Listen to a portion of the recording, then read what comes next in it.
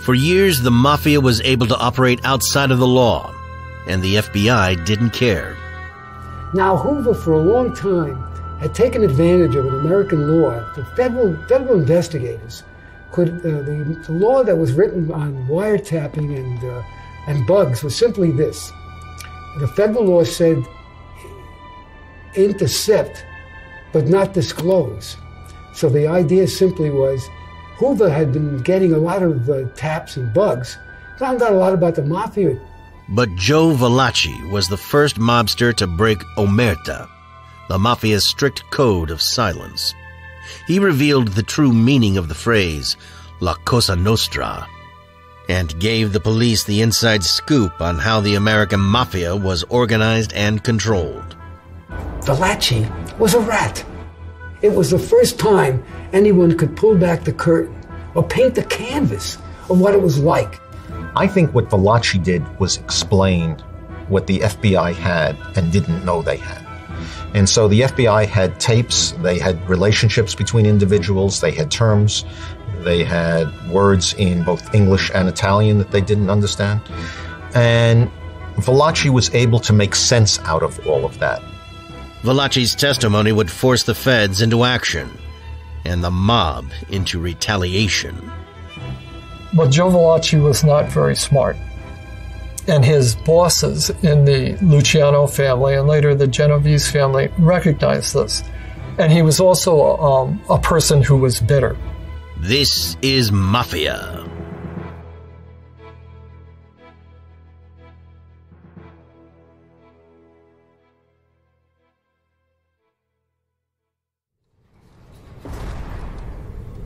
In June 1962, in Atlanta Federal Penitentiary, Don Vito Genovese sat in his cell.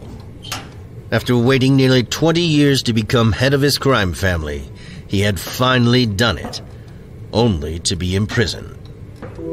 The mafia boss had been sentenced to 15 years for drug trafficking, but many believed he had been convicted under mysterious circumstances, including Genovese himself and he was desperate to get the real story. Selwyn Rab is the author of Five Families. Many people thought it was a really tainted conviction because the major evidence against him was one individual, a person who claimed he had been a courier between uh, the narcotics base in uh, East Harlem and also with Genovese. Why would he even engage in a conversation with them, especially somebody who is paranoid as Genovese was? To do anything like that and distrustful. Imprisoned along with him was 58 year old Joe Valachi, a Genovese family soldier. Ronald Goldstock is a former FBI agent. The soldiers didn't have a job. They had an opportunity. Uh, they can be a labor racketeer, they can be an expert in a particular industry. Um, and the people that work with him are known as mob associates. And the end result is that a soldier um, makes money and passes some of the money up to um, his superiors, the capo and, and, the underboss, the boss. Um, the better a soldier is, the more likely he is to be promoted. Valachi had the same conviction and sentence as Genovese, and the two had been both working for the same family. After a time, the two became cellmates, but even before that, they had a long history. Joe went back a long time with Vito. He was one of Vito's crews, so they knew each other very well. And he'd always been dependent upon Vito's goodwill, and he always thought he was in Vito's good graces. So here they wind up together in the Atlanta pen. And uh, Vito, of course, is courted as a big mobster. He has, he has people surrounding him. They take care of his food, his job. He doesn't have to do anything. Uh, Joe is in another element. Joe has to really work and uh, he's no big shot. Uh, but Vito was a homicidal maniac, a paranoid who trusted nobody. And for some reason, he got suspicious that, that uh, Valachi was a rat. One morning, Valachi was met with a surprise. Don Vito Genovese approached him and kissed him on both cheeks. But rather than taking it as a sign of affection, Valachi feared for his life. Joe recognized immediately the kiss of death. For no reason, he bestowed a, a, a bus on his cheek. And Joe knew what this meant. It meant he was now going to be killed. One way or the other, Vito was out to get him, and he had sent him a message. In all likelihood, it was police corruption that played a part in Genovese's conviction. But he had still become convinced that Valachi was responsible. And Valachi was sure the kiss of death meant Genovese had marked him as a dead man. Even in prison, Genovese's reaches were far and wide. A hit could come at any time, from anywhere. But what had Valachi done to earn a special hit contract? Nothing. Yet. Joe Valachi joined Cosa Nostra in 1930. His family came over to New York from Naples in the 1900s. They had 17 children, and Joe was one of only six who survived.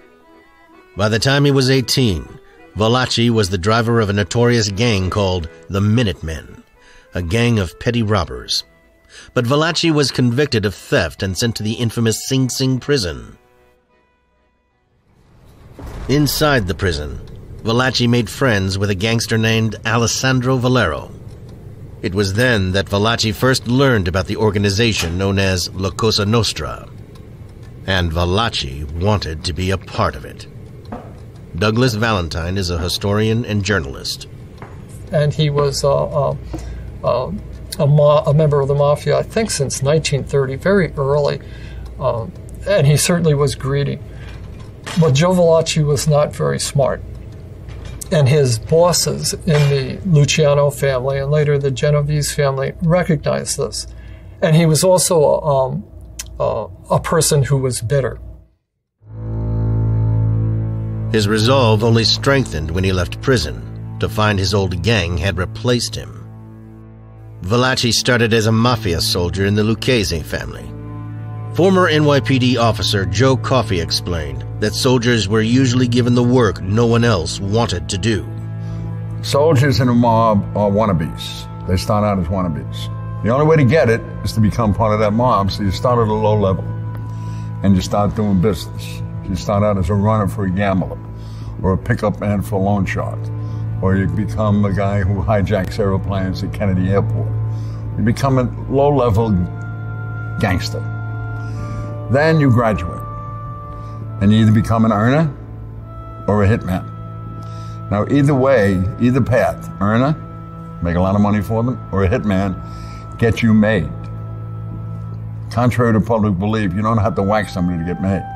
If you earn them a lot of money, you have a scheme that you're working that's bringing a lot of money and you get made. Makes sense.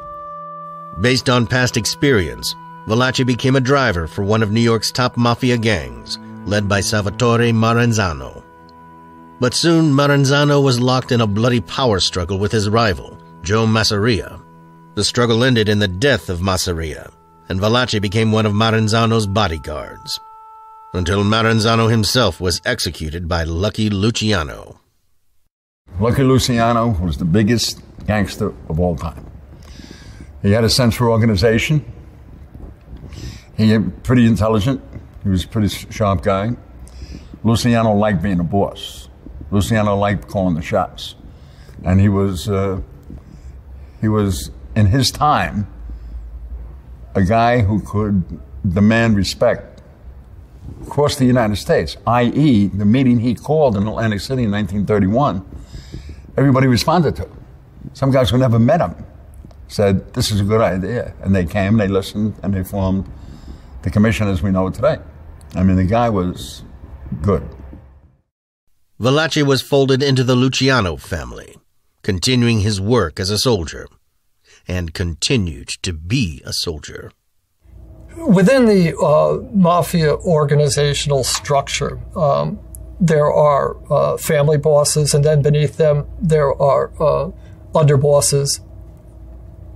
Despite the fact that in the 1950s, Valachi had been in the mafia for over 20 years, he was still just a button man in a crew. He hadn't risen very far. Valachi had attained his goal of being a made man in the mafia, but he hadn't gotten any further than that. It seemed as though Valachi was constantly being passed over for promotions. Vinnie Mauro had been um, Valachi's protege, but he had been promoted above Valachi. And uh, Vinnie Mauro and Frank Caruso kept, they suppressed Valachi. They let him have a couple of jukeboxes that he was able to make money from. And because they officially just let him have those jukeboxes to make money, he was in a sense forced into drug business. Okay. Very few people feel an inclination to be a drug trafficker. In the mafia, you're generally forced into that business. And Valachi was a person who was forced uh, through economic reasons of his bosses into, into drug trafficking. And he, he sold narcotics uh, in Harlem. The drug trade was a less desirable charge among the mafia rackets. It was easier to get caught, and soon enough, Valachi was arrested. Valachi had a reputation for getting busted or arrested for two-bit crimes, and that's what happened. He was always involved in minor narcotics deals. You know, he was never really a big importer or supplier or the brains behind anything. So he got arrested by the Narcotics Bureau in America and uh, was sentenced to about 15 years. And there he was in his usual uh, second-rate, second-rate performer, uh, dealing with important people like Vito Genovese, who coincidentally was in on a separate narcotics rap at the same time in one of the darkest and toughest institutions known as the Atlanta Penitentiary, federal penitentiary, where only the toughest characters usually wind up.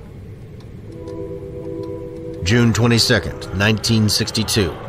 Inside Atlanta Penitentiary, it had been several days since Valachi received the kiss of death.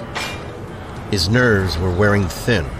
He sat in the prison yard, as far from other inmates as possible. One of them might be a hired hit. In the far corner of the yard, two prison guards were talking to each other. Then something caught Valachi's eye.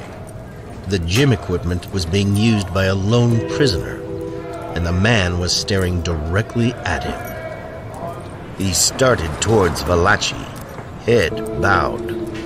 The man was slowly coming in closer.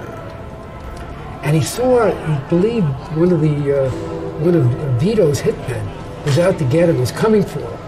And he picked up a pipe, an iron pipe. It's hard to believe in a prison apparatus they would leave a deadly weapon lying around from a construction site. Uh, but Joe was quick with it. He picked up the pipe, and he killed the uh, person he thought was the uh, designated hitman. Turned out he was wrong. Once again, I think Joe was a bit of a bumbler. So he killed the wrong guy, he killed an innocent prisoner who just happened to be walking by. Valachi's victim was a man named John Joseph Saupp. He was a small time crook, and he had no mafia connections. Now he's really up against it because they had him on, the feds would have him on a murder rap. So he would have another 20 or 30 years. He'd never get out of prison. And if he ever didn't, if he, even if he beat the rap, Vito would get rid of him in prison. So here he is. Here he is. He's trapped. There's no way out for him. Valachi had killed the wrong person. And now, on top of his narcotics conviction, he was facing a life sentence for murder. The situation was grave for Valachi, but it was a great opportunity for someone else. Attorney General Robert Kennedy was hell bent on taking down organized crime since his election in 1961. But Kennedy and his staff had been struggling to penetrate the criminal underworld. The Apalachin meeting, where over 100 mobsters had been caught by police, had revealed to the public that the mafia was very real indeed. But the FBI still had made little moves forward. And so they began a program of uh, wiretapping um, and um, trying to determine um, who occupied various positions and how the organization was structured. Um, Kennedy comes in in 1960 as the Attorney General for John Kennedy uh, and reinvigorates the organized crime and racketeering section. Now, for the first time, they might have found someone from the inside who could be persuaded to talk. Suddenly, here comes along this serendipitous windfall, this two-bit mobster, who can tell him at least what it's like to be in the trenches for the mob, how you become a mafioso. He knew about all these things. It was the first time anyone could pull back the curtain or paint the canvas of what it was like. So he was a tremendous star. Here was this guy that had come out of nowhere. It's unknown whether the FBI offered Valachi the choice or if Valachi decided it on his own. But they gave Valachi a deal. If he would disclose what he knew, publicly, he wouldn't have to spend his life behind bars. July 17th, 1962. In the dead of night, Joe Valachi was awoken in his cell. The lock on the door was slowly being opened from the outside. But it wasn't hitmen. It was the feds. For his protection, they would be taking him out of Atlanta. Valachi was given the cover of Joseph DiMarcona and flown to Westchester County Jail in New York. He was put into solitary confinement, gave him the time, gave him the opportunity to think. So what's his only out? He's got to become a rat. So he sends word to the federal authority that he's willing to sing, become a canary. Valachi was put to intense questioning, first at the Bureau of Narcotics. They begin interviewing him, and uh, at first he's not too uh, forthcoming, nothing really good. Steve Pomerantz is a former assistant director at the FBI. But in the process of um, of uh, telling these things to the Bureau of Narcotics, uh, Bobby Kennedy became aware of his potential, as did other people in the Justice Department and as a person who could publicize how big and how important the mafia was. And at that point, um, the FBI stepped in and took over Valachi. Despite his willingness to cooperate, Valachi proved to be hard to crack. And FBI Director Herbert Hoover was desperate for information. After years of inaction against the mob, going so far as to claim they didn't exist, his bureau was facing a lot of criticism. Hoover is interested in him. Now, Hoover, for a long time, had taken advantage of an American law for federal, federal investigators. Could, uh, the, the, law that was written on wiretapping and, uh, and bugs was simply this. The federal law said intercept, but not disclose. So the idea simply was Hoover had been getting a lot of uh, taps and bugs found out a lot about the mafia, about putative mafia members or alleged mafia members, but he could never publicly disclose it. So he had a lot of in, he had information, but he wasn't dealing with it. But he was able to use that information to try to worm things out of uh, Valachi, and he sent in one of his key inquisitors. Hoover sent in FBI agent James P. Flynn to get Valachi to open up. Flynn was a veteran interrogator. Flynn came in and he, he was tough. He told Valachi, listen, either you tell us what we want to know or you're no value to us and there's no deal involved. And uh, Valachi realized he had to start talking. The truth was that the FBI had a lot of pieces of information. Semi legal wiretaps had picked up words and phrases that were all but unintelligible. Flynn was intrigued by one phrase in particular. Many suspected mafioso referred to themselves as Cosa Nostra, but the FBI didn't know what the saying meant or actually referred to. To get Valachi to loosen his tongue, Flynn decided to use the art of deception. They weren't sure what it meant. Did it mean our house? Did it mean uh, our place? And uh, Flynn bluffed Valachi. He said, Well, you know, we know all about Cosa Nostra. In using the phrase, Valachi assumed the FBI knew more about the mafia than they actually did and he began to talk. Valachi was shocked that he, they knew the name. They thought it was so secret because he knew the mob never used the name mafia when they discussed anything or among themselves. It was sort of the trade name that the press and some law enforcement people had invented. And it was carried over from what existed in Sicily. There was a mafia in Sicily, but the mafia in America called itself Cosa Nostra. And he, for the first time, revealed what it really meant. It meant our thing. Cosa Nostra. And that was the name that the, and he told Flynn, we never call ourselves Mafia. We call ourselves, you know, we're in the Cosa Nostra when we, when we talk about it, if we ever do. So in that sense, he had a breakthrough. He finally found out what Cosa Nostra meant, and Valachi, he had to produce an inside story, paint a canvas of what it was like to be a mafia soldier in the trenches. So for the first time, he started spilling the beans. Flynn started to press Valachi for names and dates and how the organization got started. So he became the Rosetta Stone. He uh, interpreted the hieroglyphics. He told them what it all meant, how the uh, organizations functioned, how there were families, how the makeup was, the whole structure, and he actually gave them names of the New York families for the first time and who were the bosses, something they didn't know. They may have suspected things, but this was the inside information. The FBI only knew the tip of the iceberg, the mafia iceberg. They really didn't, had never really penetrated the organization and realize the real details of how it functioned. Valachi revealed the organizational structure of the mafia. He detailed how the Cosa Nostra was divided into family units, each with a boss, an underboss, and lieutenants and soldiers beneath them. Um, so the soldier is a, a, a person high up in the mob by the very nature of being admitted to the mob. They are given mob secrets. They are told about what has occurred. They need to know who other people are within the mob because they're free to cross anybody who's outside the mob, but no one who's in the mob. Um, and so they tend to know a great deal. Um, and Valachi demonstrated that.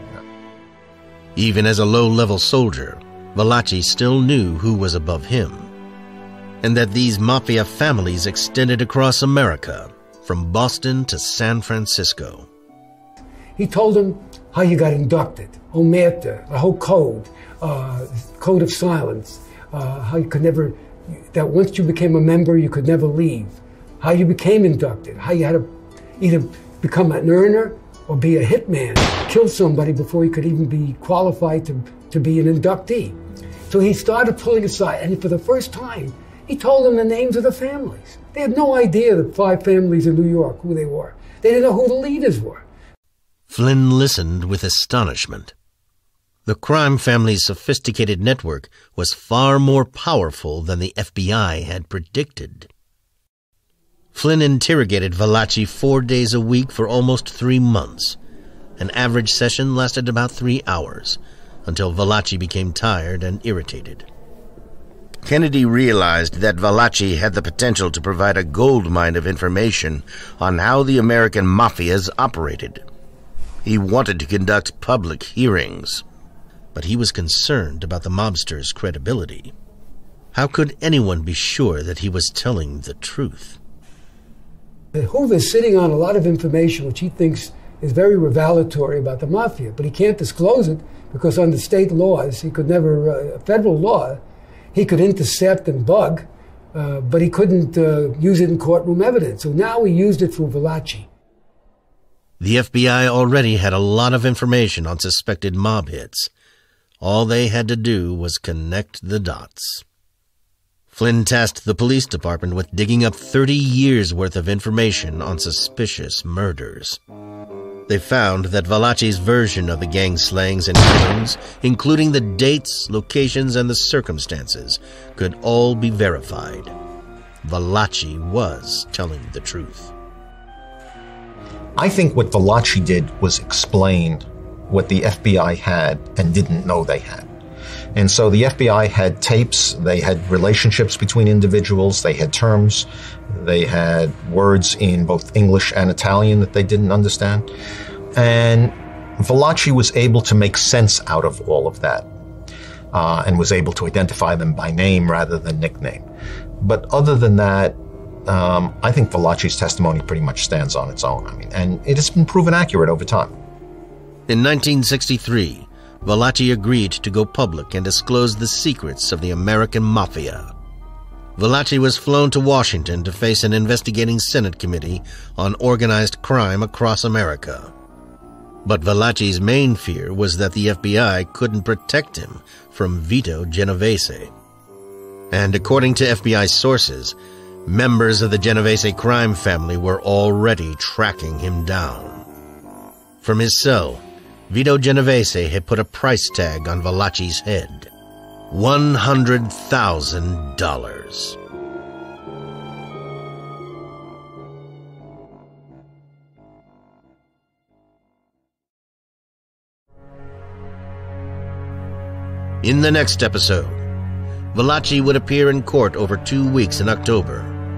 giving first-hand accounts of life as a mafia soldier and hitman. One thing that, that Joe Valachi revealed to law enforcement and to the people in charge of this country was the structure of the mafia, the history of the mafia. He had a vast knowledge of it. And he was the one who exposed it all. The families, the names of the people, the levels of uh, authorities. But sitting in the public light only made him more vulnerable to retaliation. The mob, of course, was horrified. The leaders were horrified by what he had, uh, what he was going to do, and by his testimony. And they knew before even he testified that he was going on the witness stand.